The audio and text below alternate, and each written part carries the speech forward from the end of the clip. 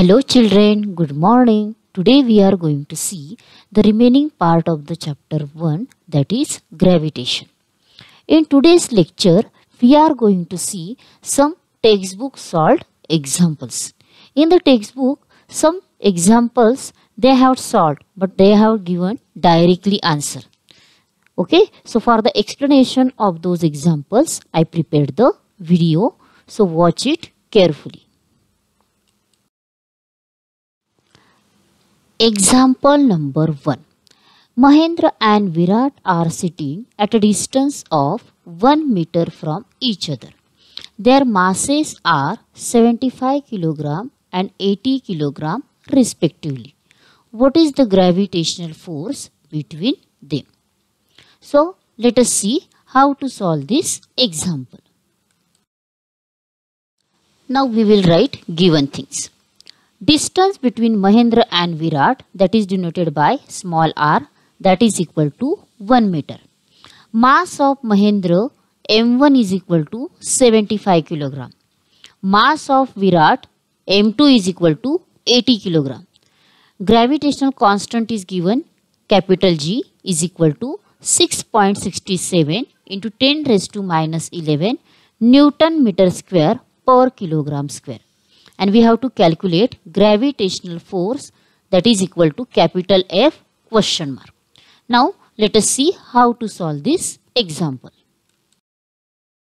Now we will write first of all gravitational force formula that is capital F is equal to gm1 m2 upon r square. So is equal to we will put the values of m1 m2 g and r square okay? So is equal to 6.67 into 10 raised to minus 11 into 75 into 80 upon 1 square.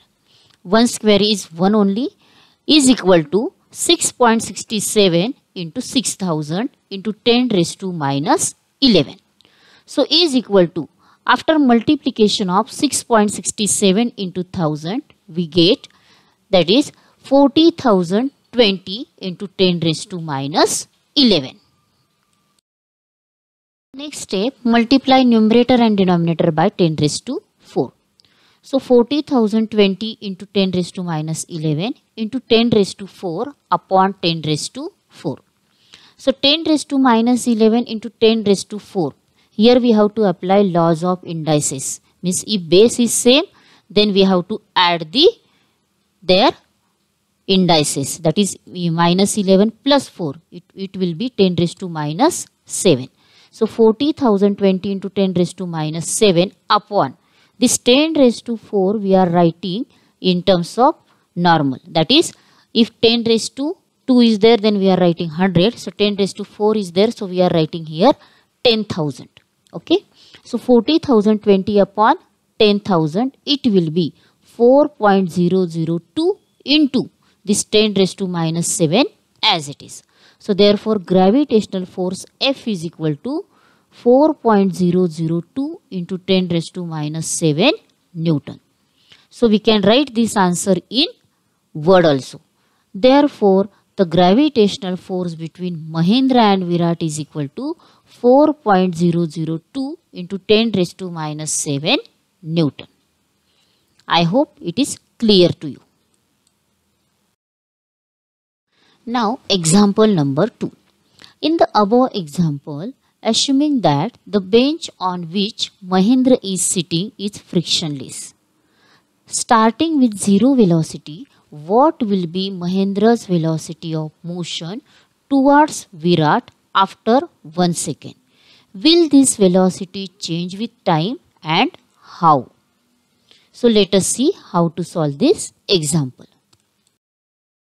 given things force on Mahendra this force on Mahendra this is given from example number 1 that is capital F is equal to 4.002 into 10 raised to minus 7 Newton.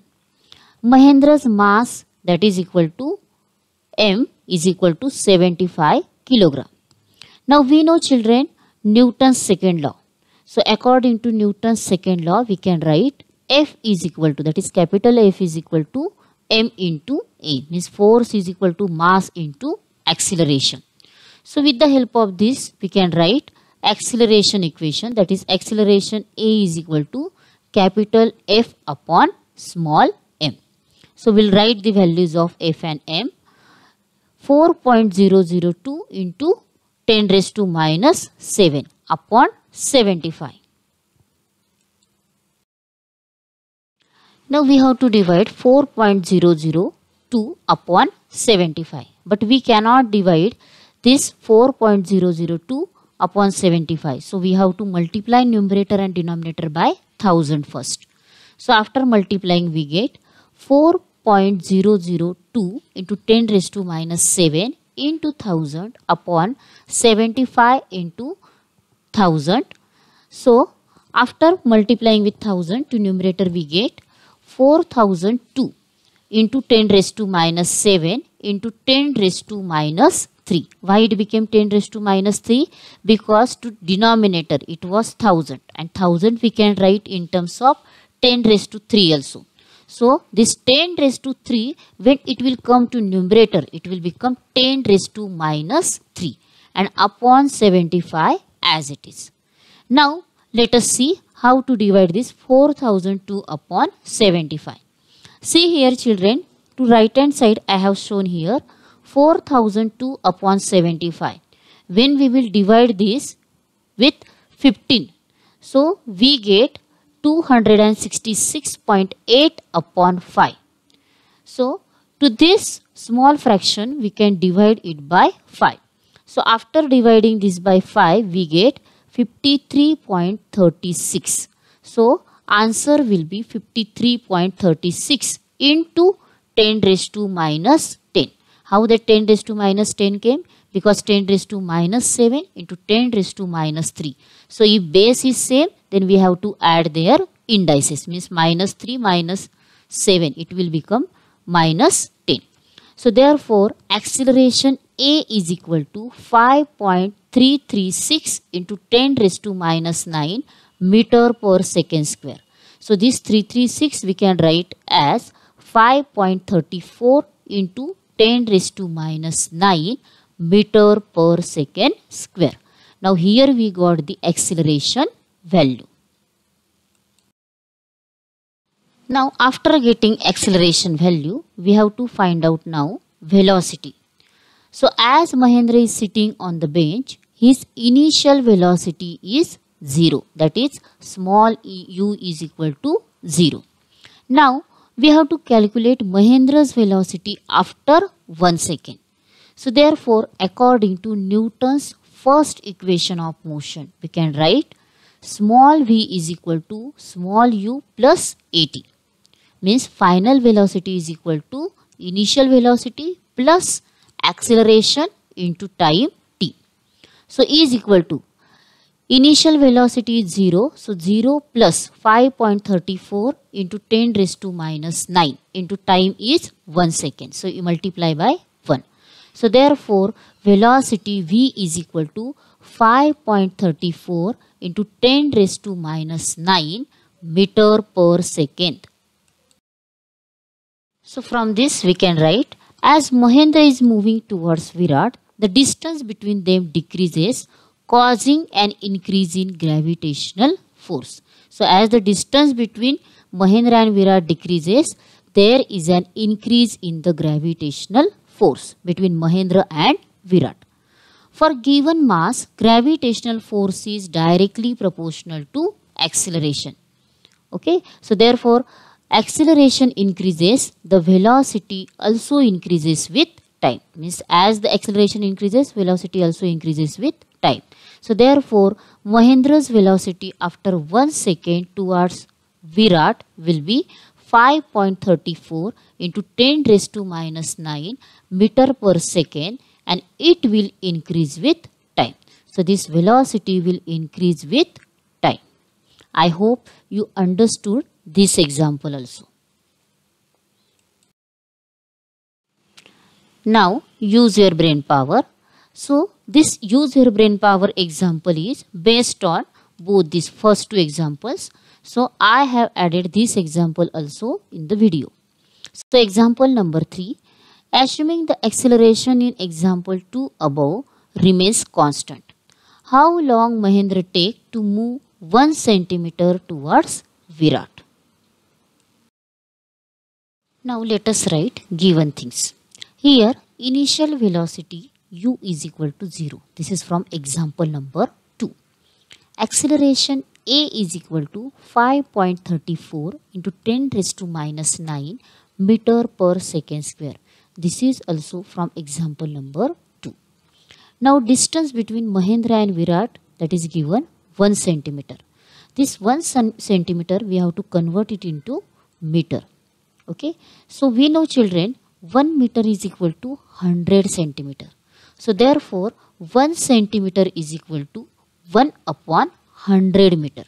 This is given to right hand side of this example 1 upon 100.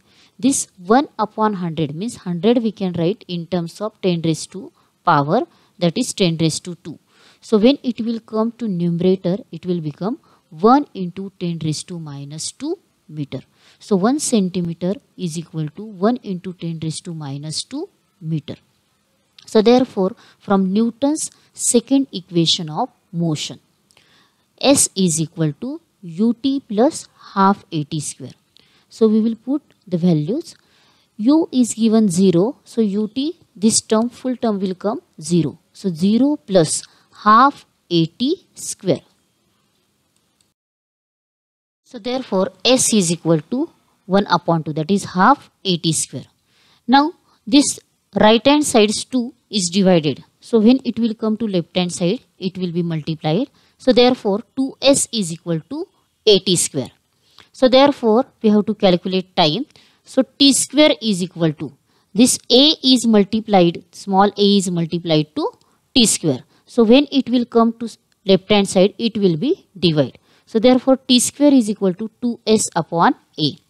So therefore by taking square root on both sides we are getting t is equal to square root of 2s upon a. So is equal to we have to put the value of s as well as a. So is equal to in the square root 2 into 1 into 10 raised to minus 2 upon 5.34 into 10 raised to minus 9. So is equal to in the square root 2 upon 5.34 into 10 raised to minus 2 and 10 raised to minus 9. So this uh, 10 raised to minus 9 when it will come to numerator it will be positive. So 10 raised to minus 2 into 10 raised to positive 9 it will be 10 raised to 7. So we got square root 2 upon 5.34 into 10 raised to 7. So for removing decimal point we have to multiply both numerator and denominator by 100. So in the square root 2 into 100 upon 5.34 into 100 into 10 raised to 7 as it is. So is equal to in the square root 200 upon 534 means this 5.34 decimal point will go by multiplication of 100. So 200 upon 534 into 10 raised to 7. Now let us see this division.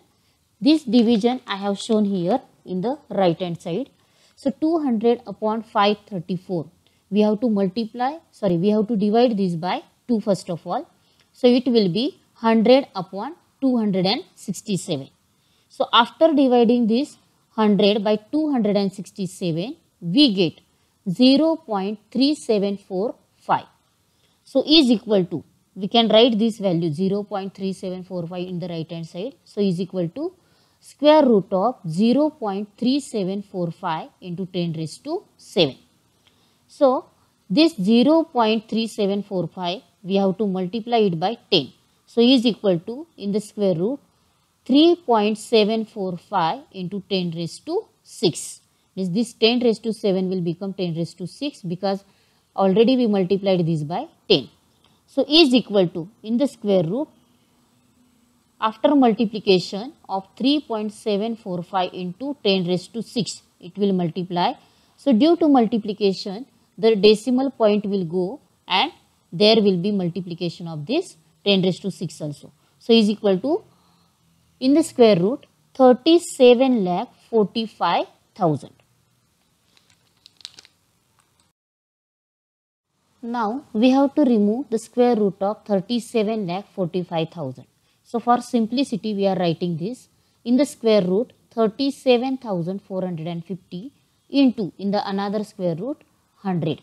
So square root of 37,450 will be 193.5 into square root of 100 will be 10. So is equal to, so this 193.5 will be multiplied by 10. So is equal to 1935 second. So therefore, this 1935 second we have to convert it into minute. So this conversion let us see on the right hand side. So 1 minute is equal to 60 second that we know very well. So therefore 1935 seconds is equal to 1935 upon 60 it will be divided by 60. So is equal to 32 minutes 25 second. So time will be 32 minutes 25 second. So this answer we will write in terms of word like this.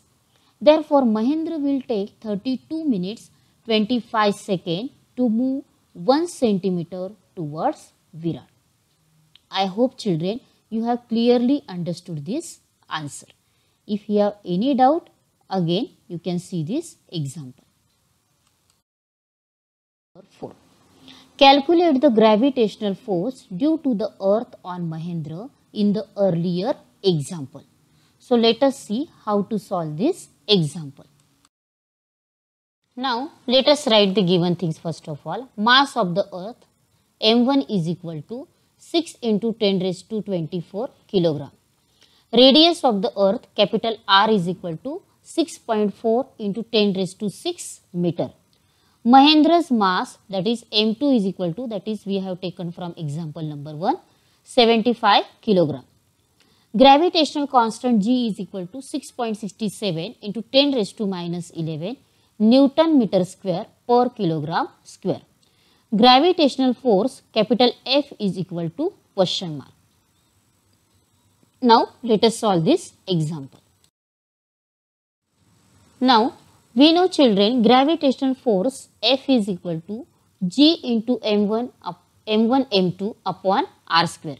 Here instead of small r we have taken capital R because here in this example radius of the earth is given.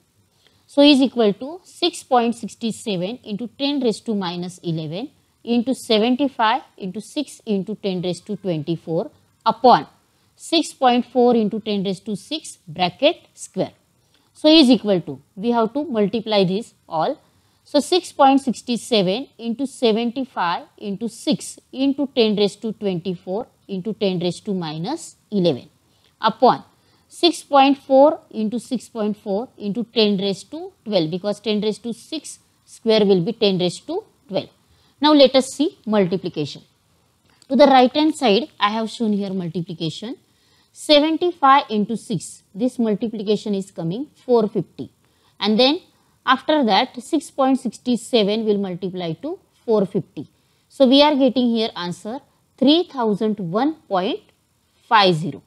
So is equal to, to left hand side let us see children 3001.5 into 10 raised to 13 because 10 raised to 24 into 10 raised to minus 11 if base is same then we have to add the indices. Means 20 raised to 24 minus 11 24 minus 11 will be 13 so 3001.5 into 10 raised to 13 upon 6.4 into 6.4 this multiplication will be 40.96 so into 10 raised to 12 as it is.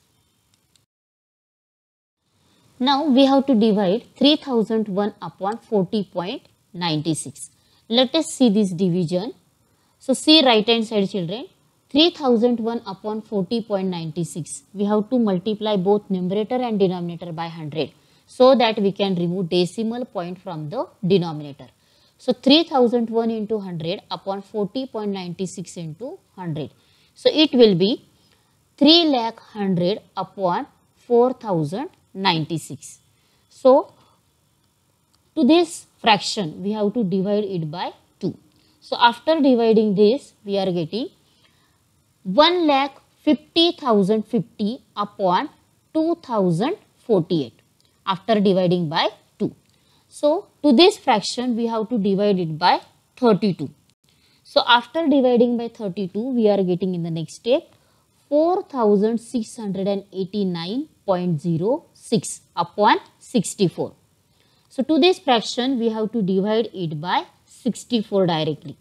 So, after dividing it by 64 we are getting answer 73.266 means it will be 73.266 into 10 raised to 13 into 10 raised to 12 okay? So 10 raised to 13 minus 12 it will be 10 only. So 73.266 into 10 so here 266 is there. So we can write this answer 733 newton. So therefore capital F is equal to 733 newton because 773.266 it will be 732.78 that is coming. So, we can write here 70 733 Newton. So, therefore, in word we can write the gravitational force due to the earth on Mahendra is 733 Newton. I hope children it's clear to you. Example number 5. Starting from rest, what will be Mahendra's velocity after 1 second if he is falling down due to the gravitational force of the earth? So, let us solve this example. First of all, we will write given things. Initial velocity small u is equal to 0. Gravitational force due to the earth on Mahendra is equal to capital F is equal to 733 Newton. This value we have taken from example number 4. Now Mahendra's mass m is equal to 75 kilogram and time is given that is 1 second. So let us solve this example. Now therefore according to Newton's second law capital F that is force is equal to mass into acceleration. So F is equal to m into A. so, we have to calculate here acceleration. So, Mahendra's acceleration A is equal to F upon M. So, 733 upon 75. So, when we will do this division, we are getting children answer 9.77 meter per second square. So, acceleration A is equal to 9.77 meter per second square. Now, after getting acceleration value, we have to calculate now velocity. So, Newton's first equation of motion, V is equal to u plus at that we know. So, therefore, Mahendra's velocity after 1 second, V is equal to u plus at. So, is equal to 0 plus 9.77 into 1. So, is equal to 9.77 meter per second. So, therefore, Mahendra's velocity after 1 second if he is falling due to gravitational force of the earth will be 9.77 meter per second. I hope children you understood this example. I hope children you all have clearly understood all the example. But we know children practice makes man perfect. So you have to practice all the examples again at home and if you have any doubt watch the video again. Thank you children.